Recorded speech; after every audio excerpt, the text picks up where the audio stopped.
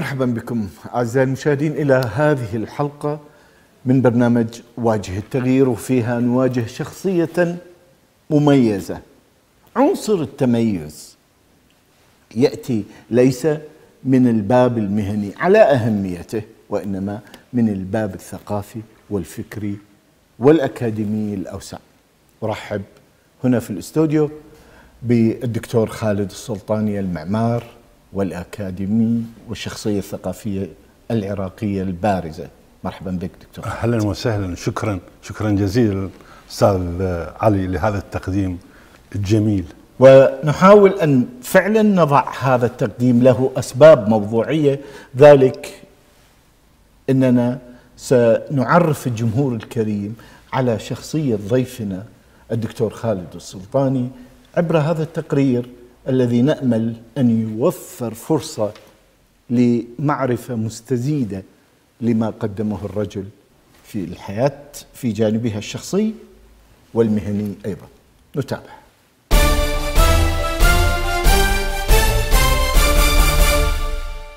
ولد خالد السلطاني في الصويرة التابعة للواء الكوت واسط حاليا في التاسع من أيار عام 1941 ليغادرها شابا للدراسة في الاتحاد السوفيتي السابق ويحصل على شهادة الدكتوراه في العمارة من معهد موسكو المعماري. درس في جامعة بغداد وجامعات الأردن والسودان والدنمارك وكان باحثا واستاذا زائرا في مدرسة العمارة بالأكاديمية الملكية الدنماركية للفنون بالعاصمة كوبنهاجن لنحو أحد عشر عاما امتدت من عام 2002 إلى عام 2013 في الجانب الأكاديمي أشرف على أطاريح ماجستير ودكتوراه في جامعات العراق والأردن.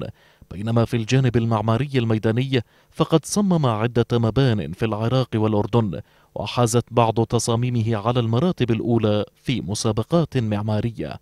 هو أيضا الحائز على جائزة محمد مكية للعمارة جائزة تميز لشخصية العام المعماري لعام 2014 لا أحد في ميدان الثقافة المعمارية عراقيا وعربيا. أنجز الذي أنجزه الدكتور خالد السلطاني. فله من المؤلفات ما يؤكد هذا الامتياز لصاحب الكثير من الكتب والمحاضرات المهمة.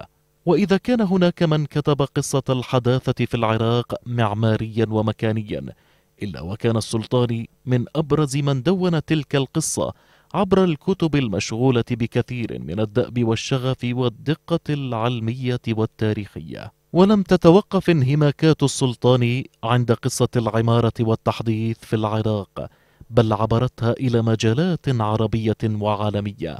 عبر نصف قرن من المعرفة المتواصلة والجادة بات السلطاني واحدا من رموز الثقافة العراقية الرصينة والمؤثرة.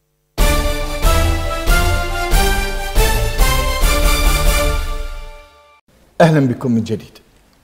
وأجدد الترحيب أيضا بك. دكتور خالد. أهلا وسهلا. حقيقه أهلا وسهلا. أستاذ علي مبعث سرور شخصي لي آه، أن ألتقيك حقيقة على الرغم من انني أو أحسب أنني أعرفك جيدا ولكن مع كل مرة آه، أقبل على اتصال ما إنساني أو معرفي مع حضرتك أجد انه فيك ما يبعث حقيقة على المزيد آه، من المعرفة المزيد من الجوانب التي آه، قدمتها خلال آه، سيرتك العلمية والإنسانية أيضا.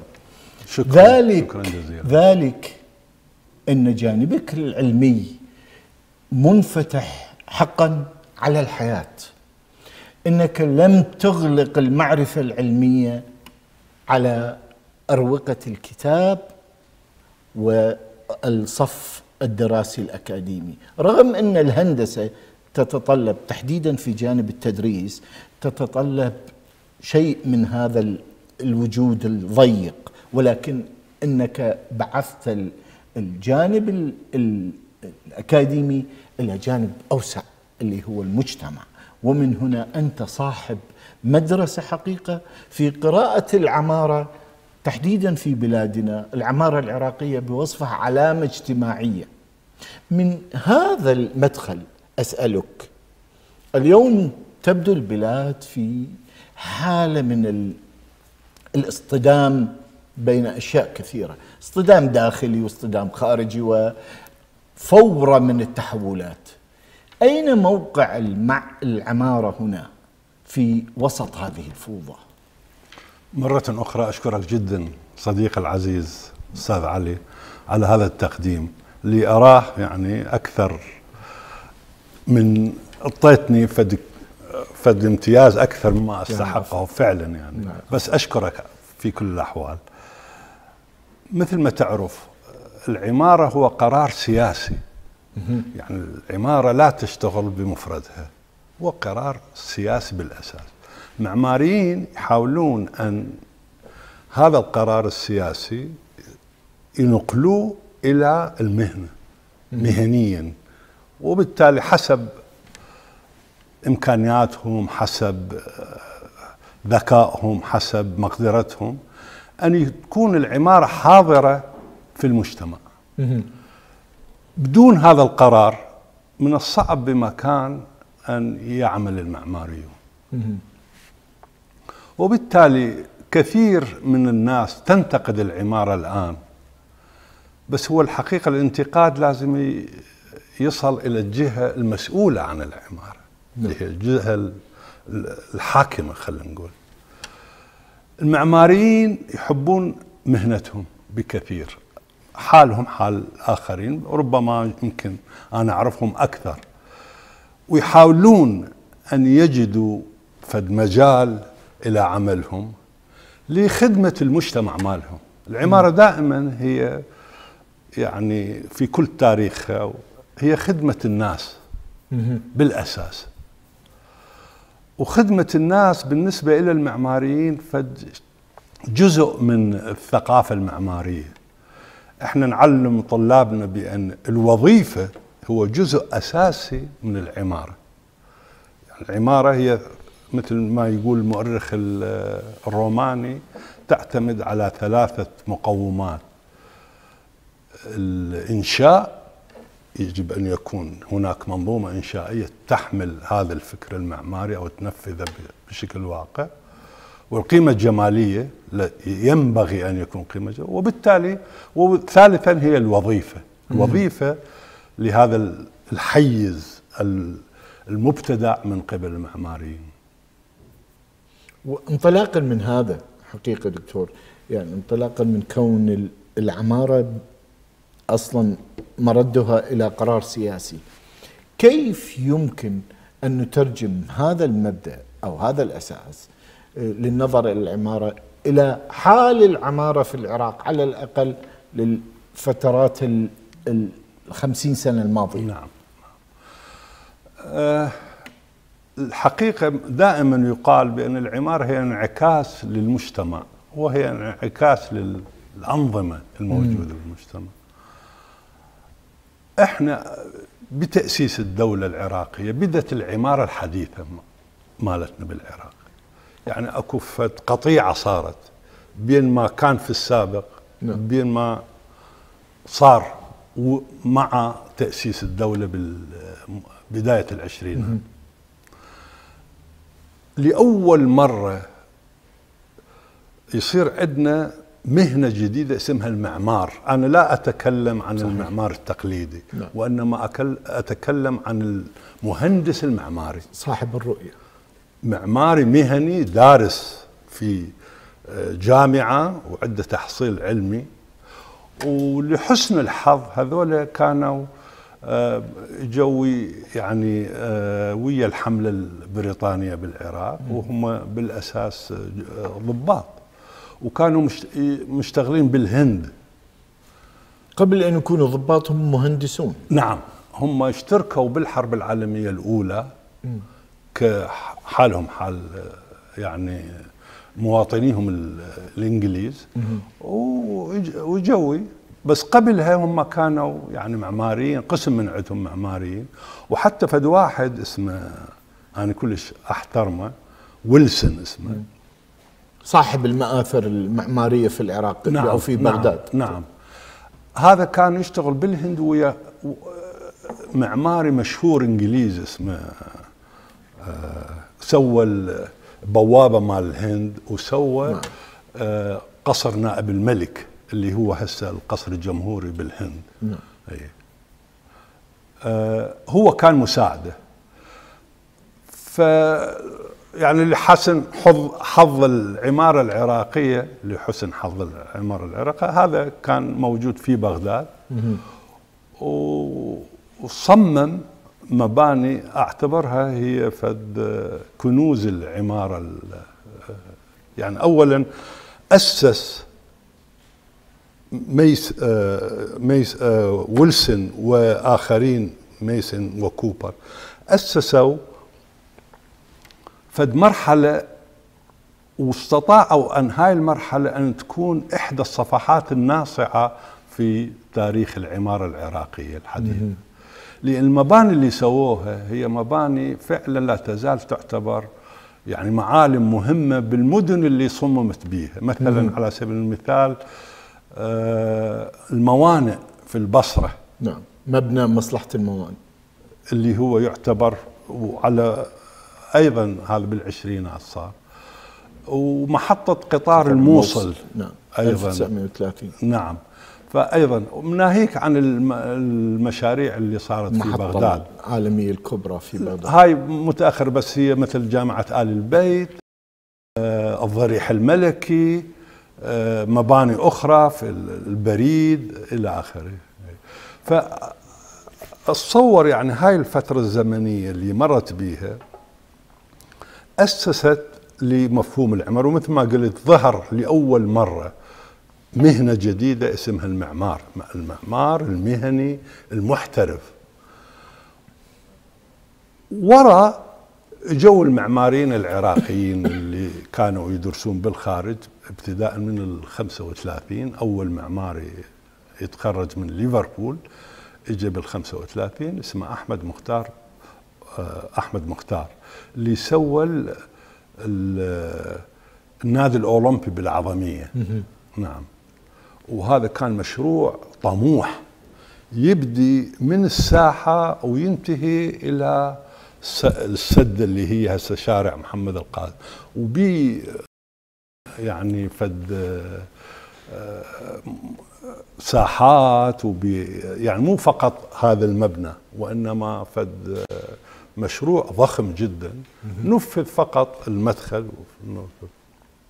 انطلاقا من هذا المبدأ التأسيسي إن شئت دكتور خالد ألا وهو أنه القرار السياسي هو الذي ينتج قرار بالعمارة أو الإنشاء والبناء. إذا اعتمدنا هذا الأساس في أي مرحلة بدت السياسة نافعة لجهة أنها تنتج بناء؟ ومتى بدأت هذه السياسة مدمرة لجهة أنها على الأقل أوقفت عجلة البناء؟ نعم. أنا من أقول العمار هو العمارة هي قرار سياسي. أقصد بأن الدولة يمكن تسوي تخطيط تسوي مشاريع. فهذا هو قرار سياسي. نعم. يعني الدولة تريد مشاريع عمرانية إلى البلد وتعطيه إلى التنفيذ إلى المعماريين سواء عن طريق مسابقات أو تكليف مباشر.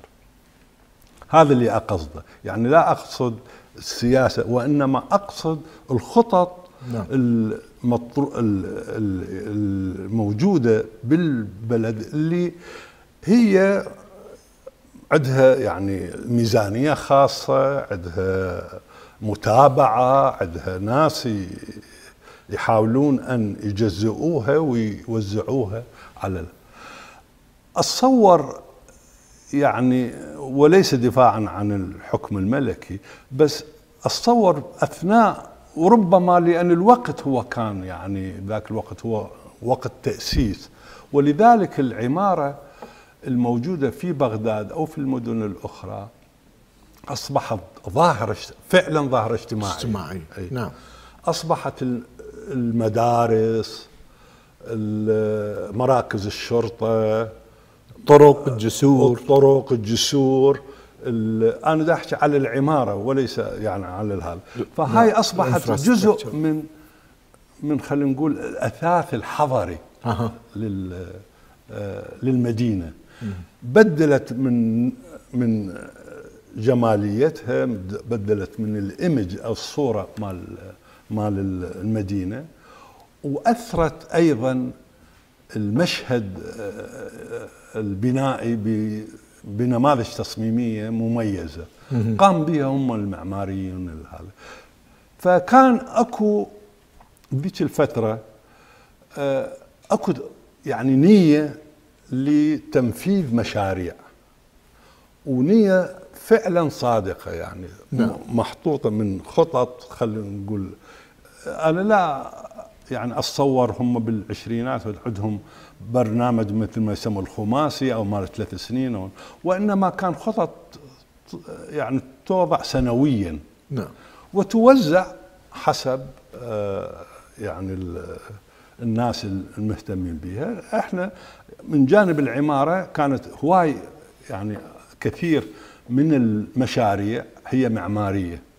لأن البلد في ذلك الوقت أستاذ علي أنت تعرفه.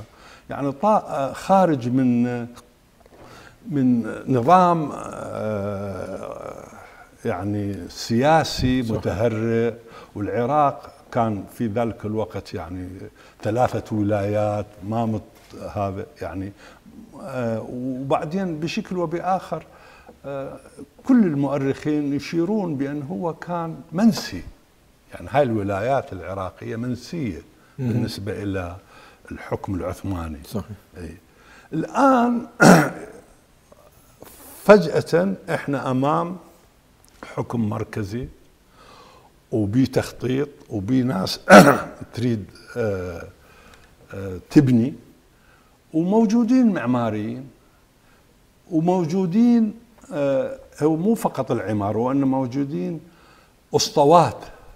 يعني هذول العمال الماهرة ومواد إنشائية يعني معامل للكاشي للطابوق للخزف لهذا كانت أيضا موجودة كل هاي العوائل طبعا ال ال يعني الحاجة نعم. الحاجة لوجود هاي المباني المبررة فمثل الطفرة صارت معمارية في ذلك الوقت يعني مم. بغداد تغيرت جذريا بالثلاثينات عن ما موجود بالعشرين يعني الوجه العصري لبغداد إن صح الوصف بدأ منذ عقد الثلاثينات من أنا أعتقد العصر ال ال يعني المهم في العمارة العراقية هو العقد الثلاثيني. وأتذكر سوينا فد مؤتمر في جامعة بغداد سويناه عقد الثلاثين لأن هو يعني التغييرات اللي صارت بالعشرينات والهذا النتائج صارت كلها بالثلاثينات. أيضا يجب أن لا ننسى بأن وجود المعماريين وجود المواد الإنشائية وجود الفكر المعماري خلى ذائقة جديدة عند الناس. فانبنت بيوت جديدة. خرجت من البيت التقليدي ما يسمى بالشرقي اللي هو يعتمد على الفناء الوسط المكشوف الحوش. حوش وتحيط به غرف. هذا هو البناء التقليدي. اللي استمر يمكن من أور إلى إلى إلى العشرينات. بهاي الفترة ظهرت طبقة الانتليجنسيا هاي المثقف نعم. الطبقة الوسطى. وهاي كانت تواقع أيضا للتغيير. وبدلت من طريقة معيشتها التقليدية. يعني ما كانت هي تعيش في بيت الآباء والأجداد وإنما انسلخت عن هاي وظهرت أحياء سكنية في بغداد. مثل البتاويين الوزيرية. نعم. هاي كلها ظهرت بالثلاثينات. في بشكل آه القطاع السكني يختلف جذريا عن ما كان في السابق.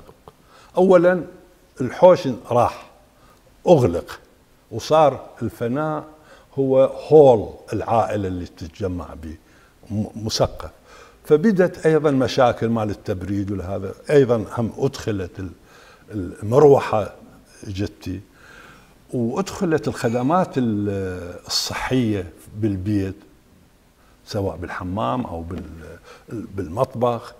فأصبح البيت السكني يتلائم مع طموح الطبقة الجديدة طبقة مم. الموظفين هذول المتعلمة. المتعلمة نعم. فهاي طبعا أثرت على الشكل العام للمدن. يعني خلت العمارة تكون هي جزء من حياتهم. يعني ليست هي دائما العمارة يقولون هي فد يعني مهنة آه، آه، نخبوية. بس الآن بالعراق أصبحت جزء من حاجات ناس كثيرين من حاجة المدينة من حاجة الناس من حاجة أصبحت مسألة يعني ضرورية. يعني آه، دكتور خالد أنت تضعنا في سياق حقيقة لهذا كنت أشرت في البداية إلى هذه السلاسة في ربطك بما هو علمي يتعلق بالعمارة إلى أفق أوسع اجتماعي. أنت ربطت وجود دولة عراقية معاصرة تم تأسيسها مع انتقال إلى الحداثة هذه الحداثة جعلت البيت البغدادي أو الحضري أو العراقي بشكل عام ينتقل من ملمح إلى ملمح جديد نعم. وربطت هذا الانتقال بوجود معرفة بوجود عقول جديدة روحية جديدة نمط تفكير جديد علوم جديدة نعم. حقيقة. هذا إلى أي فترة استمر هذا التدفق والتواصل الهارموني نعم. المنسجم كل هذا؟ معرفة إرادة بالتغيير إرادة بالتحديث عقول جديدة. إلى أي مدى؟ كي نكون على اتصال مع الجمهور الكريم إلى أي مدى ظل يمضي بهذا الأفق المتدفق؟ وإلى متى بدأ ينكسر؟ ولماذا؟ مثل ما ذكرت بين أكو صارت قطيعة بين العمارة بالعشرينات وبين ما سبقتها. نعم. بس هاي الأشياء الجديدة الأشياء المميزة الأشياء المريحة للعالم أصبحت يعني تحس بقيمة العمارة. يعني مثلا البيت نظيف البيت مغسول ماكو رطوبة به المرافق الصحية تشتغل بشكل جيد فهاي يعني مثل ما حضرتك هسه اثرت بأن هي فعلا مسألة اجتماعية وهي فعلا كانت جزء من الحراك الاجتماعي. هاي استمرت هاي الفترة إلى نهاية الثلاثينات إلى بداية الأربعينات. مم. بالأربعينات مثل ما تدري صار الجو السياسي يعني مشحون محتقن نعم. بتدخلات أخرى وهذا يعني صارت حرب الحرب, الحرب العالمية, الثانية, الثانية والعراق كان جزء من نعم هذا نعم. وهذا فما اهتموا بالجانب المعماري يعني ظل عمارة تأخذ الصدى اللي حدث بالثلاثينات أه. تقريبا يعني نعم. يعني ما انبنت مباني مميزة في تلك الفترة لأن العالم كانت يعني تعيش أيضا ذائقة مالية وتعرف حضرتك ما مر به العراق بتلك الفترة.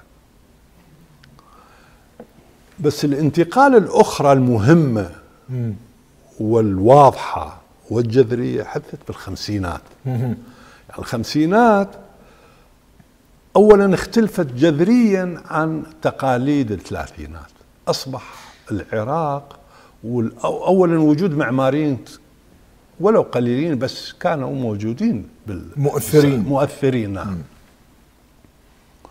وموجود أيضا توق لبناء بناء يتماشى مع العصر مع مع العالم. نعم. وبالأساس هو الثروة المتدفقة من النفط صحيح. اللي حدثت بالخمسينات. 49 اللي إحنا حصلنا حدود 50% من هذا فعلى أثرها صار مج... نية لتأسيس مجلس أعمار يقود هاي الحركة العمرانية بالبلد مو فقط العمارة البناء يعني البناء نعم. وإنما أقصد التعمير بشكل عام بهاي الكلمة العامة كأن يكون سدود آه، مائية قطاع سكك طرق إلى كل الإنفراستراكشر أو البنية التحت... تحديث البنى التحتية. إي وإيجاد فد فد حلول جذرية لمشاكل البلد. الفيضانات والهذا اللي كانت مدمرة نعم. فيضانات قابلها إنشاء سدود. نعم. نعم.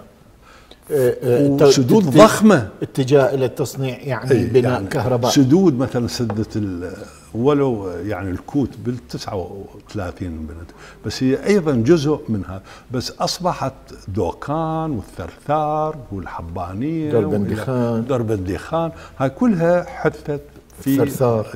في الخمسينات. العمارة هناك تغيرت جذريا. أصبحت يعني تتوق أو تنزع لأن تكون جزء من الحراك العالمي. وهذا هم فد فد حدث مهم مم. عمارة الشرق الأوسط. يعني العراق في ذلك الوقت بالخمسينات كان ما يقبل أقل ما يبنى في أوروبا. يعني هاي الحركات الجديدة المعمارية إي. ولذلك دعوا خيرة المعماريين العالميين في ذلك الوقت. لبناء أو لتصاميم آه، تصاميم مميزة. مثلا دعوا معماري أمريكي مشهور اسمه فرانك لويد رايت. هذا يعتبر بالنسبة لأمريكا بطل قومي. دعوه لتصميم الأوبرا أوبرا بغداد نعم. في جزيرة أم الخنازير. دعوا لكوربوزيه واحد من أشهر المعماريين العالميين. دعوه لتصميم آه، ملعب ضخم رياضي في بغداد. وكان مقره يكون في معسكر الوشاش اللي هسه هو الزوراء الزوراء. نعم كلام صحيح ولم يظفر في آه، تظفر به بغداد سوى بقاعة الألعاب نعم. المغلقة. نعم هاي قرب ملعب الشعب. نعم هاي بس هاي جزء من, من مشروع ضخم. أكبر. نعم نعم, نعم. ودعوا واحد من خيرة المعماريين العالميين أيضا اسمه فالتر جروبيوس هو مؤسس الباو هاوس اللي هو يعني أساس العمارة الحديثة لتصميم جامعة بغداد. ودعوا معماري فنلندي مشهور جدا وإلى حضوره العالمي اسمه ألفار آلتو لتصميم الموضوع لتصميم متحف الفنون الجميلة متحف الفنون العفو متحف الفنون في بغداد في بالعوينه وين هسه أمانة العاصمة؟ في نص يسموه كان يسموها المركز المدني. ودعوا أيضا معماري آخر آه، هولندي اسمه دودوك يعتبر أيضا واحد من أشهر المعماريين في بلده لتصميم وزارة العدلية ومديرية الشرطة. وقبلها كان داعين معماري آخر سويسري لتصميم البنك المركزي اللي هو مقابيل مصرف الرافدين. الصغير اللي هو ليس العالي. وبعدين طبعا دعوا معماريين إنجليز كانوا مشتغلين في بغداد. مثلا دعوا كوبر اللي هو كان مصمم بالثلاثينات آه، الضريح الملكي. وكلية الهندسة. وبيوت النخبة العراقية مثلا بيت نور السعيد اللي أصبح كلية الفنون الجميلة. أكاديمية الفنون نعم الجميلة. ونصرة الفارسي إلى آخره. هذول الناس المتنفذين هو صممهم بيوت في الوزيرية. دعوه لتصميم مبنيين مهمين هو البلاط الملكي اللي هو هسه أصبح القصر الجمهوري وبيت الشعب اللي هو مجلس الأمة. قبل يسموه للبرلمان يعني للحاكم وللشعب. بناية المجلس الوطني المجلس والآن الوطني. وزارة الدفاع حاليا تشغلها وزارة الدفاع. ربما أنا ما أعرف. أي نعم أي. تشغلها الآن وزارة الدفاع. أي بس هو في بالسابق كانوا يسمونه المجلس, المجلس الوطني. الوطني. نعم. بس هو بالأساس هو مجلس أمة برلمان. فهذا أيضا دعاء. فالمهم اللي أنا أريد أصله بأن إحنا التجربة البغدادية في ذلك الوقت عدت من التجارب الرائدة في العمارة مم. العالمية. أه.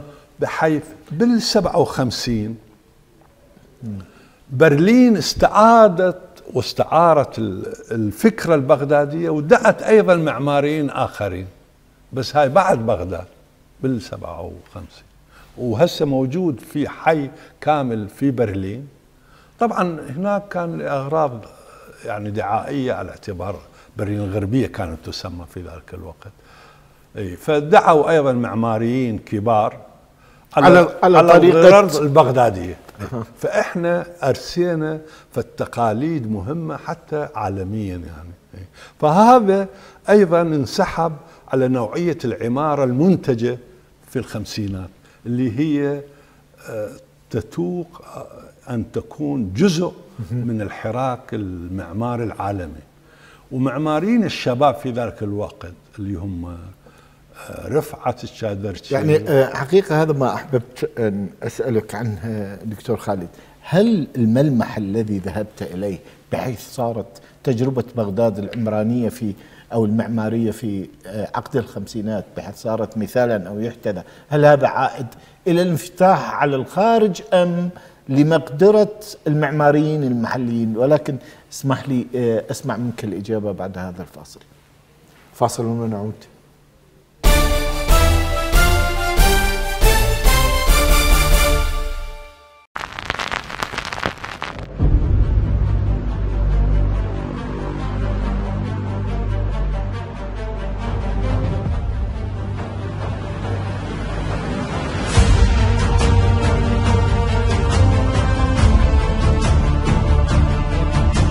ذاكرة الأجيال تستحضر التأريخ المشرق لشعب العراق الأصيل.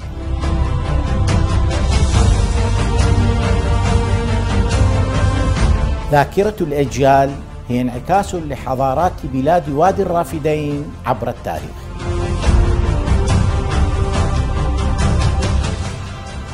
ذاكرة الأجيال هي ذلك الماضي العريق الذي تتوارثه أجيال الحاضر والمستقبل.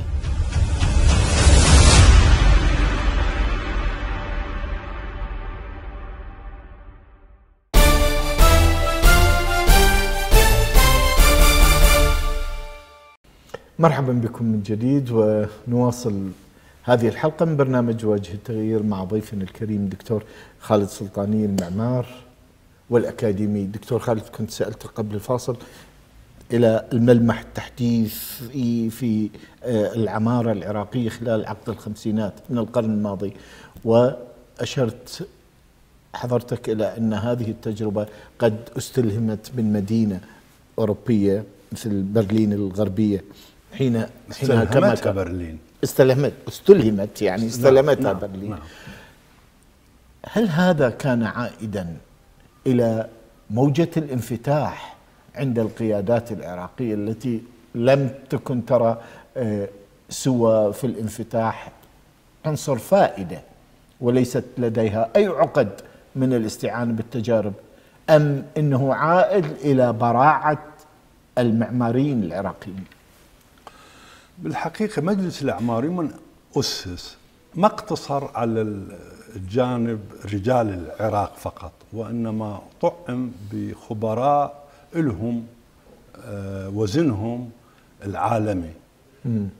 أجانب كانوا بالأساس ومقتدرين آه، سواء الجانب العمراني أو الجانب التخطيطي أو الجانب الإداري أو الجانب الصحي إلى آخره.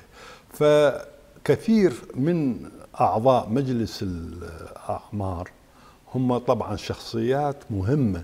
يعني أقل واحد بيهم الوزير هو كان جزء وزير التخطيط كان جزء من مجلس الأعمار. والموظفين العراقيين موجودين أيضا بالإضافة إلى الخبراء الأجانب المستشارين اللي هم كانوا أيضا يطرحون أفكار. وكانت أفكارهم مقبولة في ذلك الوقت. حتى لتحقيق النهضة العمرانية اللي تترجاها الحكومة في ذلك الوقت. بس في نفس الوقت حدث أيضا آه، آه، حادث مهم في في المشهد المعماري العراقي وهو وجود معماريين بشكل وبآخر يعني عديدين أكثر من الثلاثينات. الثلاثينات كانوا اثنين أو ثلاثة أو أربعة. نعم. الآن عندنا موجة من المعماريين الشباب المتحمسين لتنفيذ هذه المشاريع. طبعا هم بال بالتعاون ويا هذول المعماريين العالميين استفادوا استفادوا من اللغة المعمارية استفادوا من حضور الجانب العالمي بالمحلي. بس في نفس الوقت هم أكثريتهم إذا غالبيتهم درسوا بالخارج. نعم هذا مهم. فايضا كانوا مستوعبين بالهذا.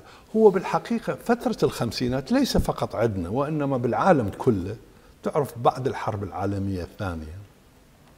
تغيرت هواي قيم. وهاي القيم كانت طبعا أوروبا تهدمت كل.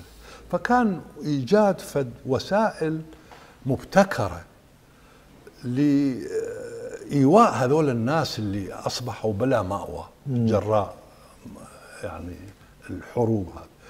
فأصبح الشأن المعماري فعلا شأن اجتماعي. يعني مهم جدا أن تكون يعني مو في برجك العاجي وإنما لازم تنزل إلى احتياجات الناس. فظهرت هواي مشاريع مبتكرة وجديدة وغير معروفة بالسابق.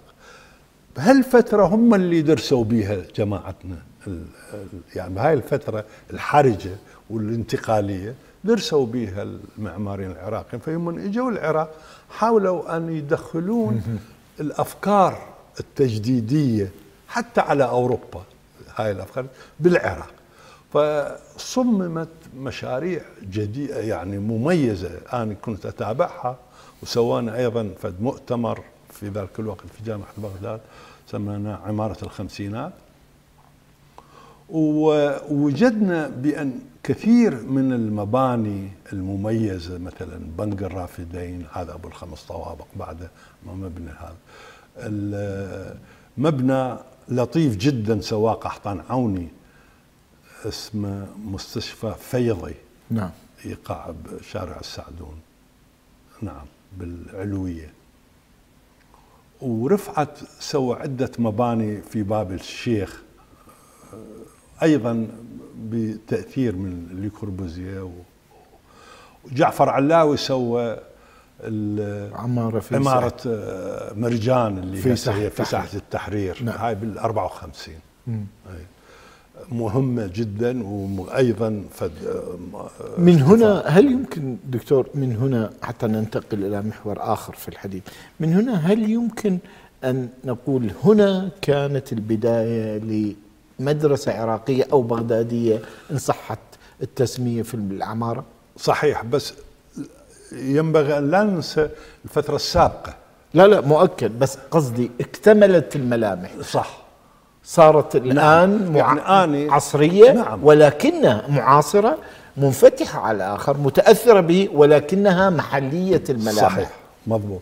ولذلك أنا عندي كتاب اسمه عمارة الحداثة في بغداد إلى 58 يعني إلى الستين من هنا أنا سألتك حتى ننتقل إلى هذا. نعم. عن كتبك عن إنجازك آه، التأليفي الذي يمزج حقيقة روح العلم بالمعرفة بأبعادها المتشعبة وبلغة تمزج المعرفة العلمية الدقيقة بالتعبير السلس بحيث يصل إلى القارئ على مختلف درجاته.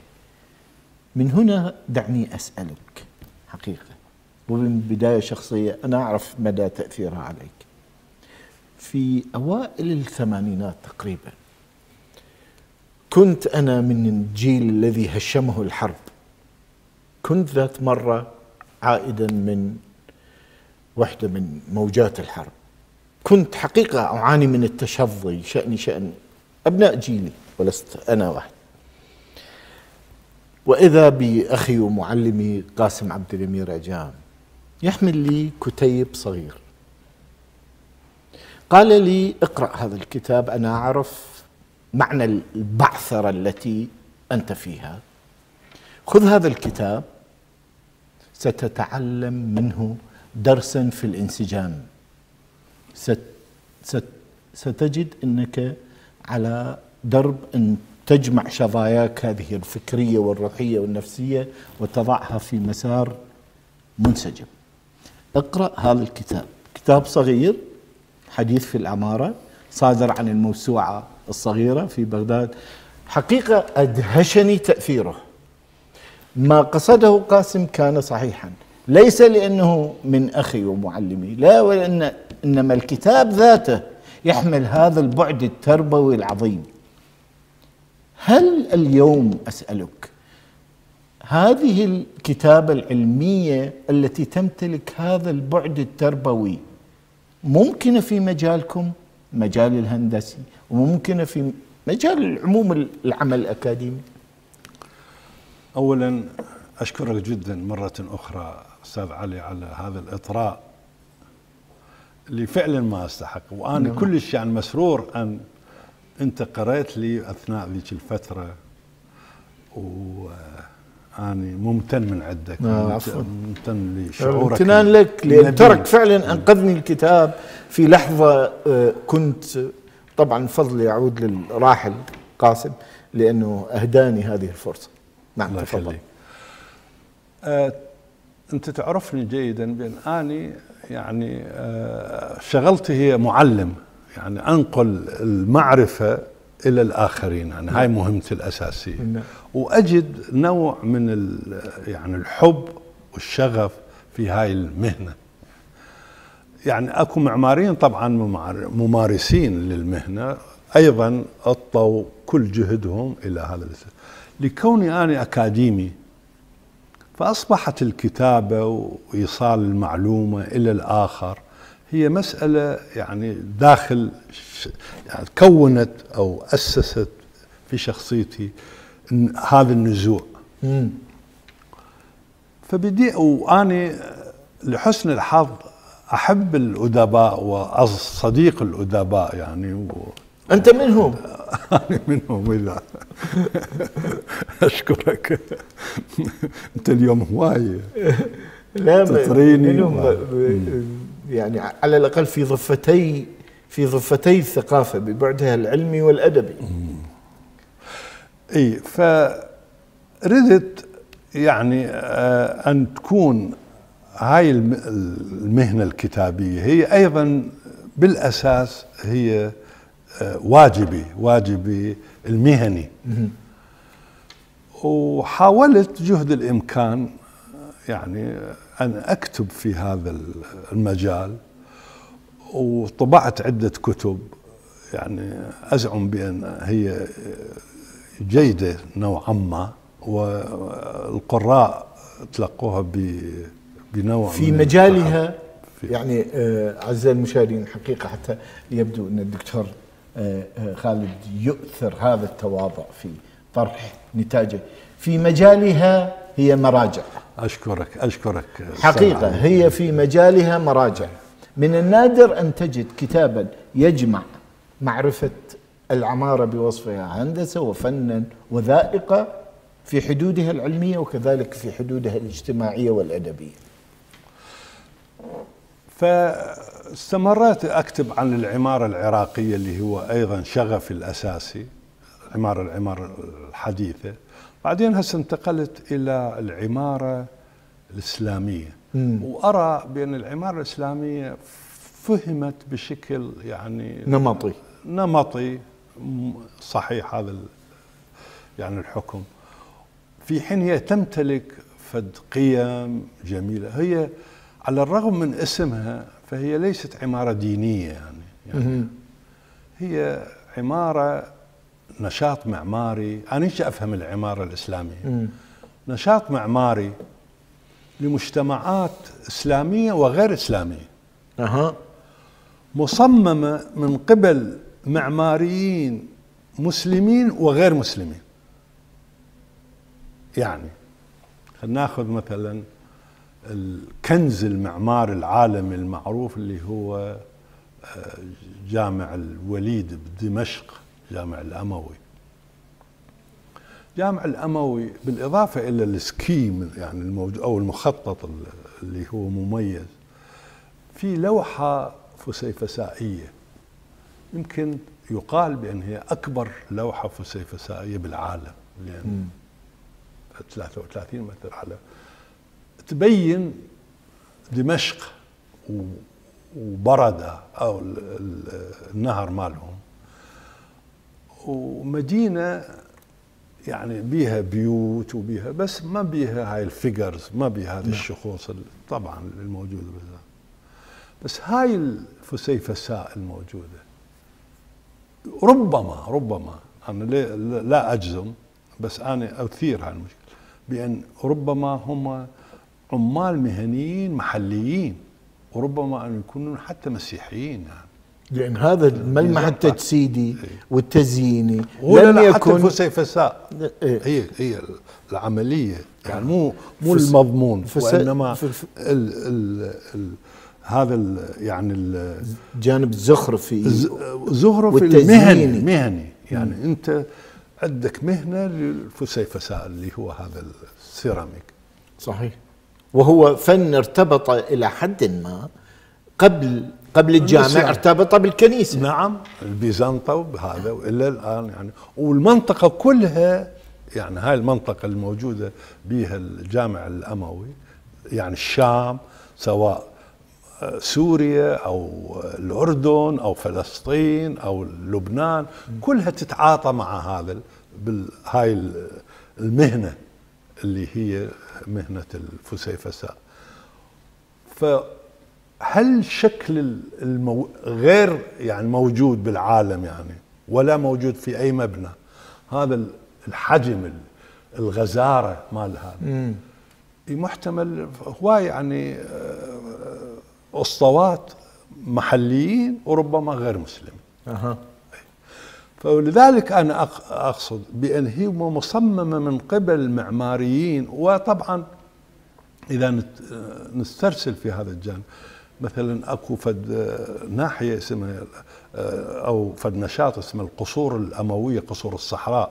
قصور الصحراء ولك كتاب فيها. إي إي بيها فد يعني نماذج من الرسومات ومن النحت ومن هذا يعني تبهر وتغير قناعات ناس آخرين بالنسبة إلى ال- لا أريد أن أسترسل كثيرا بس اللي أريد أقوله بأن أني فعلا يعجبني هذا الموضوع ويعجبني ال- اللي أنا الإضافة مالتي اللي تكون في هذا الجانب. ولذلك هسه والله يعني حقيقة م- هذه الإضافة اسمح لي أن أعبر عنها برجاء أمنية عبر هذا السؤال.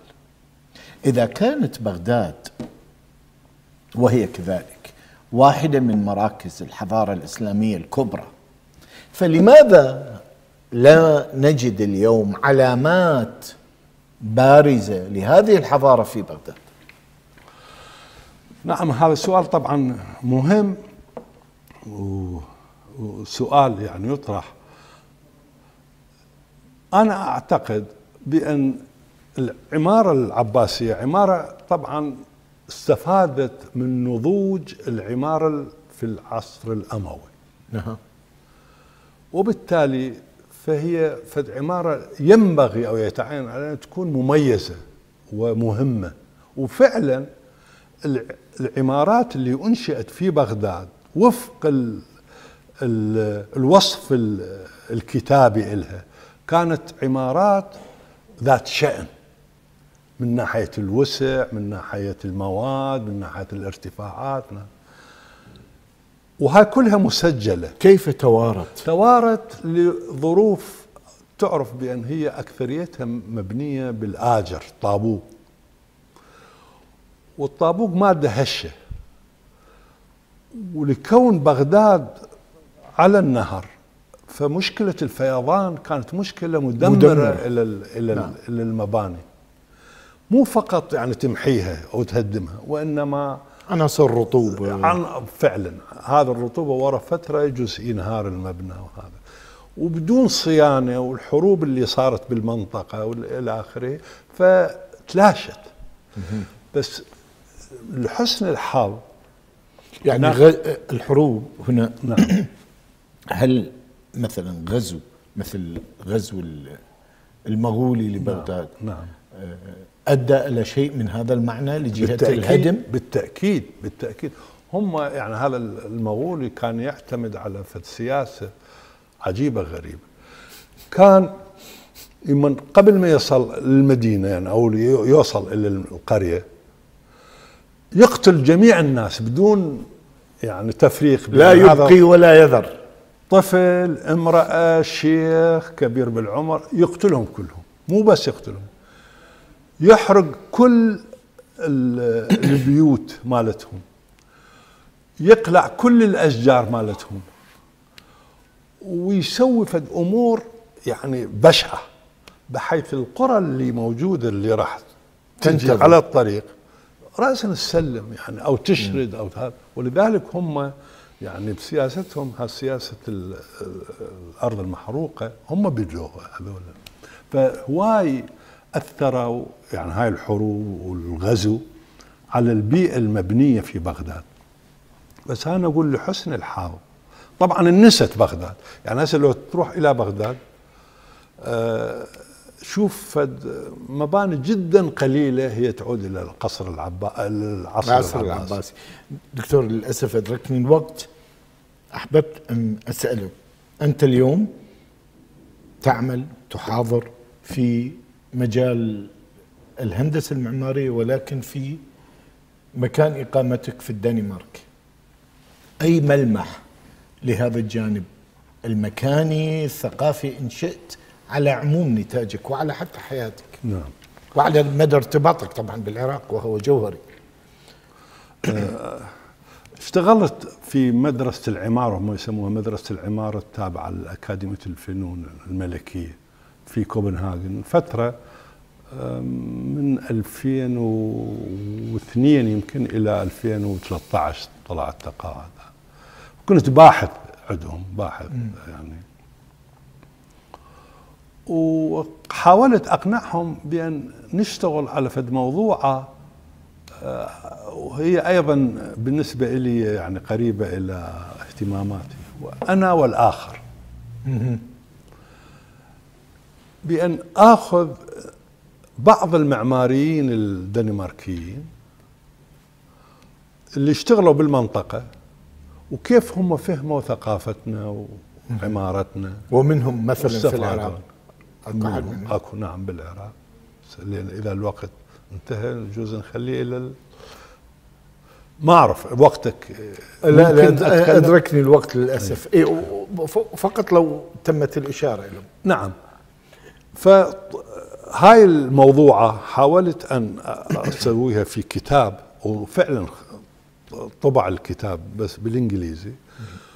وشفت بأن هم مسوين تصاميم جد مميزة في منطقتنا.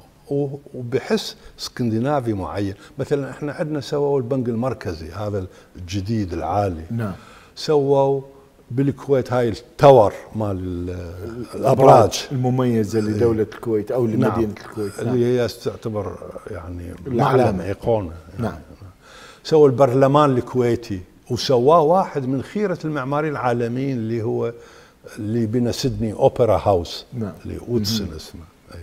وما حد يعرف بأن هو مع العلم هو ضخم جدا يعني مبنى ضخم جدا مبنى له وسووا وزارة الخارجية بالرياض بالثمانينات متحف وطني بالبحرين.